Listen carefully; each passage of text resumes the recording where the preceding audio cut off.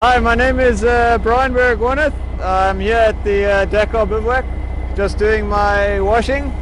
I'm in a small team, uh, but uh, we have big dreams, and only when you dream big do you achieve your goals. I started uh, Dakar, my first Dakar in 2015 on a quad bike, and uh, 2016 uh, I, I had a good result. I came third overall on the quads behind the Patronellis.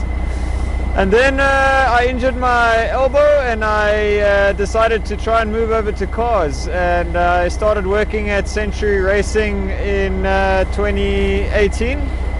I've been a test driver and engineer at uh, Century Racing, and uh, we're a small team in Johannesburg, South Africa, and we love motorsports and we build fast cars.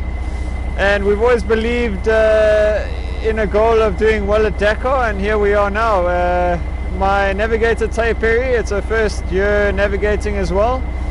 But uh, I knew what I needed out of a navigator, and I, I could see that she was up for the task. Uh, as a biker myself, I wanted a biker as a navigator because we can read terrain really well. And uh, yeah, so this year has been very challenging getting to Dakar with COVID and, and, and everything. Even racing at home has been challenging.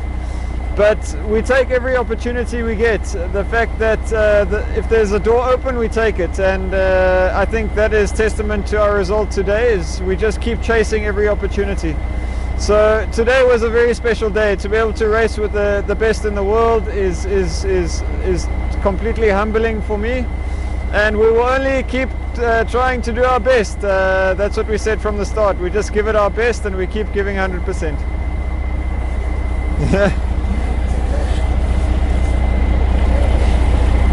One day when we're a factory team, I'll get somebody to do my washing.